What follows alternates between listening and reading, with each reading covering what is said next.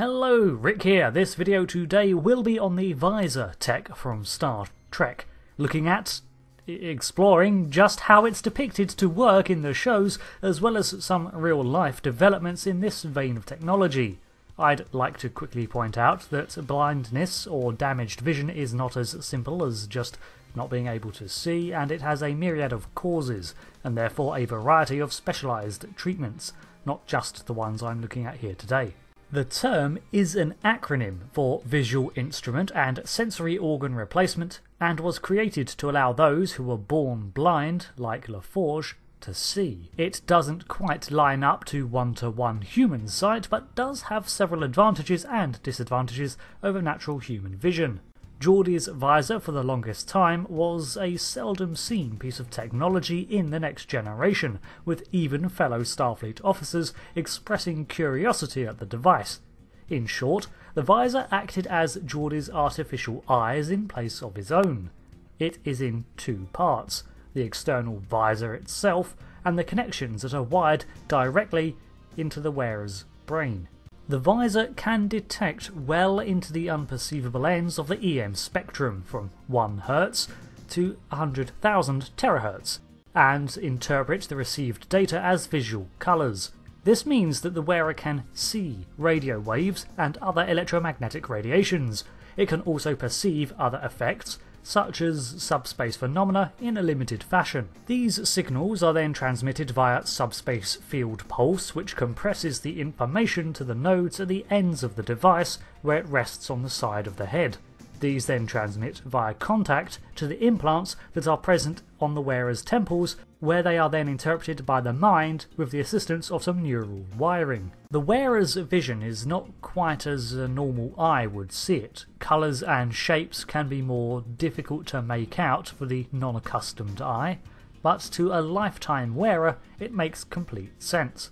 A practiced wearer can eventually use it to identify the infrared heat being given off by a person and view the amount of sweat being excreted to gauge if someone is lying.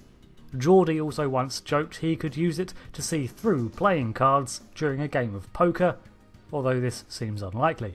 The visor's vision can be accessed remotely, and LaForge even tinkered with the notion of using it during away missions as a camera for the crew of the Enterprise to view through. However, in more nefarious ways, the subspace transmissions from the visor can be altered to transmit its viewpoint to another source.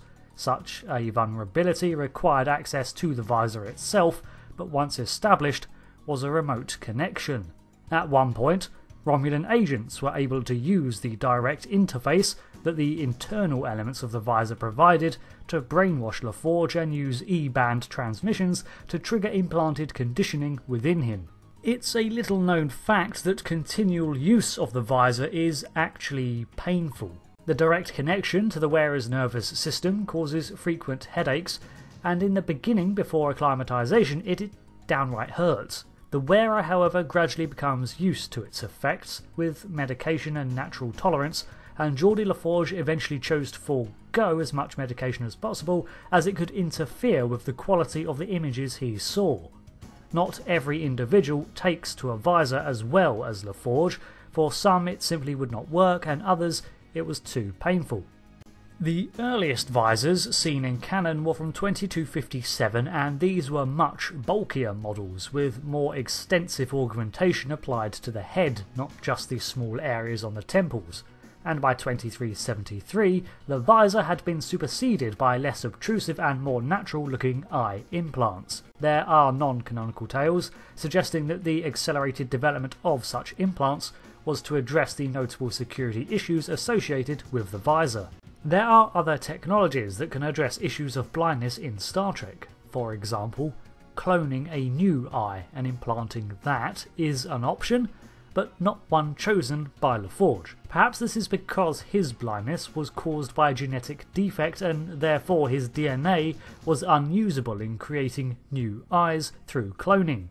This, paired with the Federation's stance on augmentation and genetic tampering, may have ruled out correcting his genome.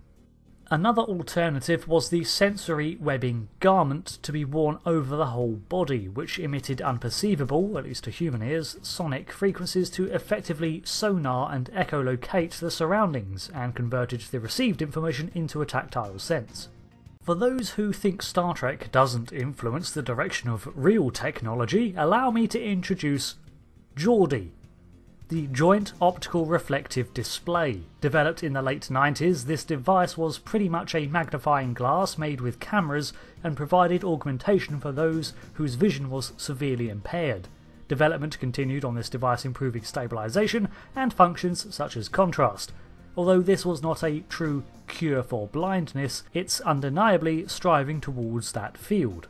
In most cases, optical implants are most successful where there is an optical nerve to attach to, which makes the visor even more impressive as Geordi had none. More recently, there are projects like Second Sight's Argus 2, which aims to address issues such as retinitis pigmentosa, which is a genetic issue resulting in the loss of the rods and cone cells that detect light across the back of the eye. The Argus is far from perfect, but again development is ongoing and like a Trek visor consists of both implanted and external components. Addressing this same issue is the retinal implant AG Alpha IMS. Unlike the Argus and similar Iris 2 systems, the Alpha IMS was a sub-retinal implant chip completely internal to the eye. The reason for the rarity of a visor in Star Trek may be explained by the real world development of such devices. It's far easier to develop a device to aid in the recovery of damaged or failing vision than to design a cure for blindness in a patient who has never had sight nor an optical nerve since birth, such as Geordi LaForge. Medical studies are making great strides in this technology, and following the fields of cybernetics is definitely an interesting and often inspiring read. But apparently, even in Trek, it's still an evolving technology. Add this to the discomfort of the device, and we can perhaps understand why many people opted for other less obtrusive alternatives to the visor. So, thank you for staying for this video on how the visor of Star Trek works and I hope I shed some light on some real world devices that aim to tackle these complicated ailments. I've been Rick, and until the next video, goodbye.